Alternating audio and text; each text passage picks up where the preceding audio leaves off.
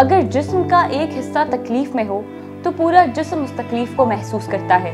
मुश्किल की और दुख की इस घड़ी में हम सब अपने भाइयों के साथ हैं। तुर्की की तकलीफ़ पाकिस्तान की तकलीफ़ है। स्टारलैंड मार्केटिंग दुआ गो है कि तुर्की जल्द अज जल्द जल्जले के इस साने से बाहर निकल आए और जो शहरी इस सहने से मुतासर हुए हैं, अल्लाह रबुल्ज़त इनकी कामिल बख्शिश फरमाए और लवाकिन को सब्र ज़मीन अता फरमाए। आमीन।